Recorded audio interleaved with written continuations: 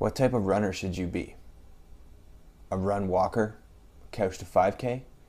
A road runner, a weekend warrior, a 5Ker, a marathoner, a trail runner, an ultra runner, an obstacle course racer, or someone in between?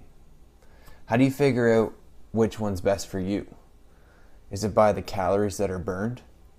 Or is it the one that gets you best in shape? Or is it the one that's the most prestigious? Or is it the coolest and the most fun? Now we're getting somewhere. Should all walk runners strive to become runners? Should all 5Kers strive to do a marathon? Should all trail runners want to do an ultra? No, I don't think so. My thoughts are kind of like this.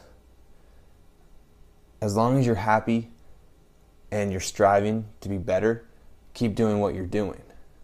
But if it's getting bored or you're finding you have less motivation, strive for something new, strive for something bigger if you want. But you don't have to choose the path that everyone thinks. Just choose something that you actually want to do.